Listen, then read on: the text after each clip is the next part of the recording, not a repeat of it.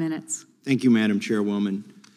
This hearing in the context is being offered or called, and the title of it is just part of an ongoing effort of the radical left to influence the Supreme Court through intimidation. The, the, the decision should have never been leaked, and right now, what's happening here, what the Democrats are doing, is to try and amplify that leak in order to try, it's a last ditch effort to influence this decision.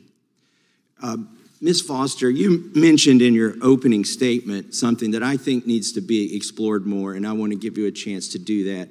You talked about euphemisms, and could you didn't really get a chance to discuss some of those euphemisms. I think I know what some of them are, but can you tell us what the euphemistic language is that the radical left uses to describe abortion and, and why they do that?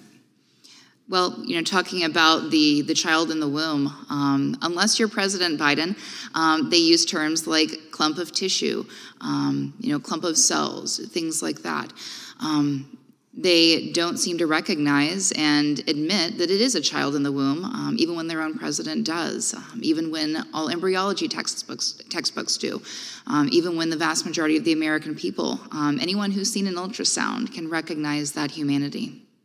I mean, aren't we all just a clump of cells at the end of the day? I mean, that's what life is. We are cells that replicate and divide.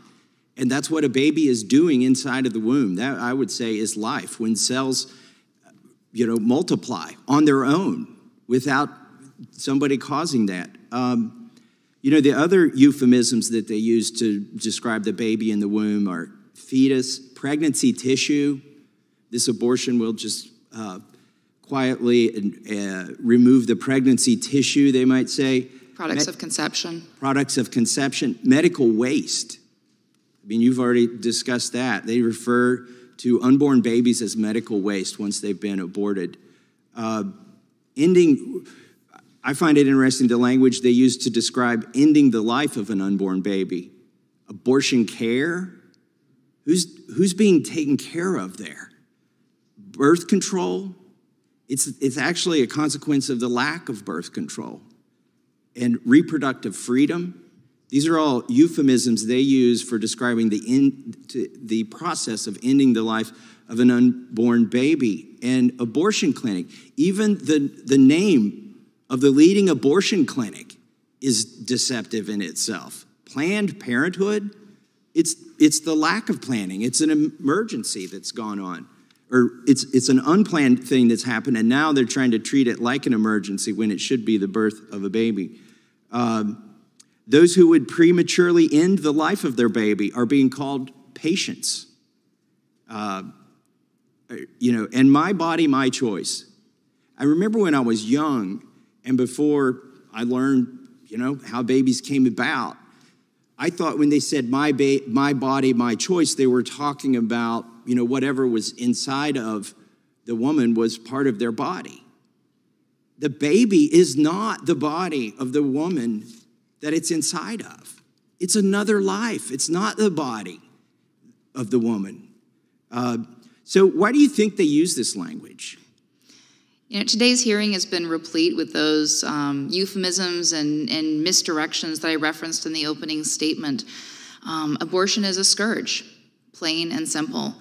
Um, it's a farce that abortion is presented as a solution to anyone's problems. And it's a crime that corporate abortion interests and this kind of euphemism and misdirection hold so much sway over so many. And we have to do better than this because our constitutional democracy is at stake. If abortion solved poverty or improved material conditions, wouldn't we have, you know, closed the gap in the last 50 years? Um, but right now, inequality is greater than ever, and wage growth is more stagnant than ever. So please, with the idea that abortion improves equality. Yeah, and I think they're using these words to deceive. Because if they actually described what they were doing, what an abortion causes, uh, that it ends a life, far fewer people would choose that. And so I think they do it to deceive, but I hold out hope that the reason they use this language is some of the people in the abortion industry still have a conscience, that they know that it's wrong, what they're doing is wrong, and they come up with this language to maintain the cognitive dissonance that allows them to end a life while at, at the same time knowing that ending a life is morally and ethically wrong. And I yield back the balance of my time.